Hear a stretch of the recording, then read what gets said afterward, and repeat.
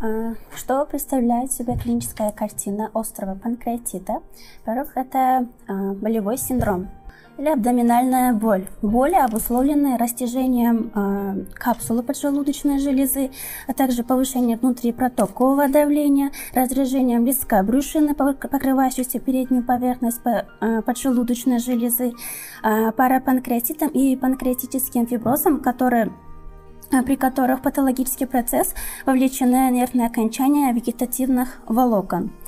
А, боли также бывают а, мучительными, интенсивными, что часто их сравнивают с болями, возникающимися при трансмуральном инфаркте миокарда, а также тромбозе, мезентральном тромбозе, разлитом перитоните. Иногда боли могут сопровождаться и болевым шоком. Локализация болей. Чаще всего они локализуются в левом подреберье, Высокие, а также бывают высокие боли, интерпретирующие как боль в ребрах. Это что означает? Это вот существует такое мнение, что э, локализация болей в известной степени зависит от преобладающегося поражения головки тела или фаса поджелудочной железы. Например, если поражается головка и тело поджелудочной железы, то боль, боль локализуется в области эпигастрии, а если хвоста, то в верхнем квадранте живота и даже в нижних отделах половины, э, левой половины грудной клетки. То есть это называется э, боль в ребрах. Иррадиация боли. Вот. Э, иррадируют они в, левую, э, в левую половину грудной клетки. По-другому это называется левый полупояс. А также еще больные описывают э, иррадиацию. Э, боли стягивает обручем или веревку пополам, или э, более разрезает тело пополам, или по-другому перепиливает пополам. Характер боли э, бывает постоянным, длительным, э, могут начинаться э, от нескольких часов до двух-трех суток. И время возникновения обычно после еды, а, после, а, через 30-40 минут. А, почему в это время? Потому что в это время происходит, вот пищевой комок эвакуируется из желудка, и поджелудочная железа активно вырабатывает ферменты и бикарбонаты, которые в свою очередь нейтрализует и обработает поступающуюся в 12-перстные кишки кислого содержимого. И в период функционального подъема происходит прилив крови в, подшел... в 12-перстную кишку с растяжением ее капсулы. И чем это спровоцируется? Спровоцируется, усиливается после употребления небольшого количества пищи, э, воды, э, а также положение на спине, ослабевает в вертикальном положении. Купирование. Э, купировать очень сложно, но с какими-то, например, с холодом или полного голодания можно как-то облегчить а, состояние. Это объясняется тем напряжением капсулы поджелудочной железы. И когда происходит такое ощущение, когда кушаешь, будешь, будет болеть, а если нет, то не будет болеть. И с этого происходит цитофобия.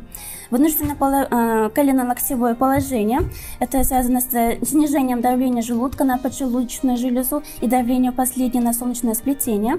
Лекарственные средства, которые снимают спазм сфинктера, это неотропные спазмолитики, холинолитики, гастрицепин, а также э, который улучшает отток секреции поджелудочной, а также ферментативные препараты фесталкрион. Это связано с включением торможения панкреатической секреции по механизму обратной секреции из двенадцатиперстной кишки. Диспептический синдром.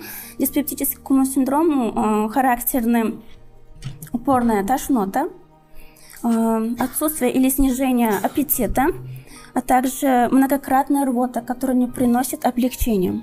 Следующий синдром воспалительной ферментативной интоксикации. Появляется слабость, лихорадка, э, характерны ножницы. Э, это когда отставание температуры тела от частоты пульса, а также артериальная гипотензия и тахикардия. Следующий это порез кишечника – сопровождается э, вздутием живота, ослаблением перистальтики кишечника и э, задержанием стула. Физикальное исследование. При физикальном исследовании мы можем увидеть бледность и цианоз кожных покровов. Это связано, это обусловлено системными проявлениями за, э, заболевания, в частности, в частности, это каликриин, кининовые системы, э, противовоспалительных цитокининов, артериальной гипотензии, нарушением микроциркуляции, свертываемости крови.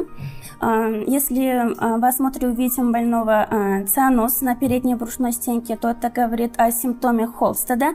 Если цианоз в боковых поверхностях живота, то это э, грея турнера. Если э, вокруг пупка, то это кулина.